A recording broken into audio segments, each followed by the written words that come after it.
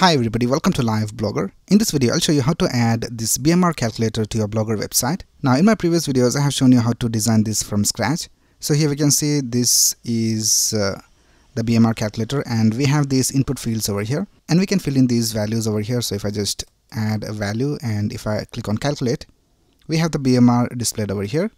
And we also have input validation for this. So if you don't add any value and if I click on calculate, we can see that it has this error message and it says please enter all the details correctly. So you have to enter a valid input over here and then you can click on calculate and the BMR will be calculated. Now in this video I'll show you how to add this to your Blogger website. Now I also have the link of the source code in the description so you can just go ahead and copy and paste the code to your website. So let's get started.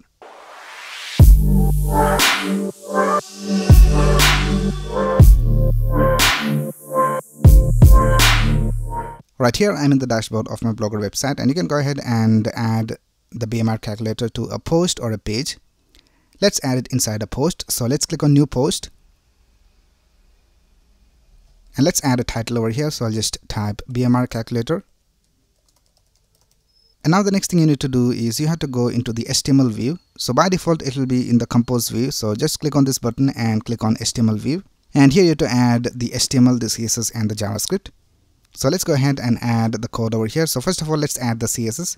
So I'll just create a style tag over here. And in this style tag, we will add the CSS. So let's go to our source code and I will leave the link of the source code in the description. So let's go to the style.css file and let's copy all of this from here and let's paste it over here inside the style tag.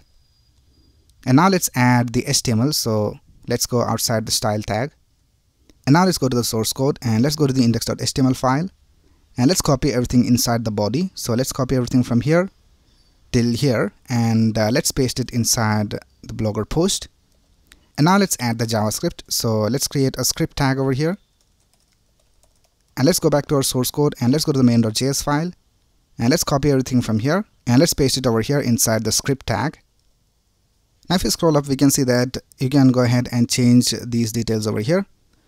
So here we can see this is the heading. You can change the heading and you can change all these headings over here.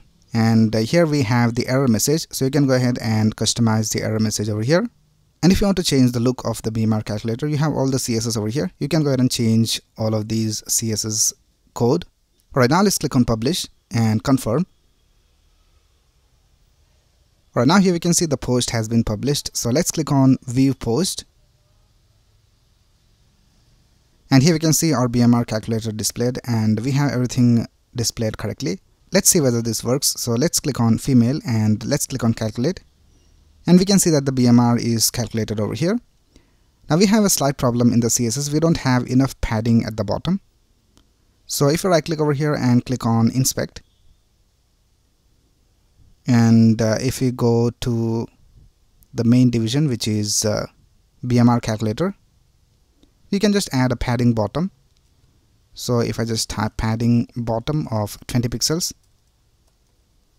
I think that looks alright so let's add this.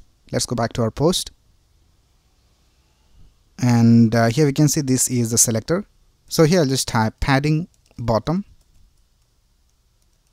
and set it to 20 pixels. And let's update it. And let's go back to our post and uh, let's refresh this page. And now we can see we have the padding and everything looks alright let's see whether the error message is displayed. So let's add some invalid input. And let's click on calculate. And we have the error message displayed over here. So everything works alright so that's basically how you add a BMR calculator to your blogger website. Now I will leave the link of the source code in the description so you can go ahead and copy and paste the code to your website so that's basically it for this video. If you have any doubts, you can ask in the comments below. And if you like this video, please click on the like button and subscribe to this channel to get the latest video updates. Thanks a lot for watching. Have a nice day.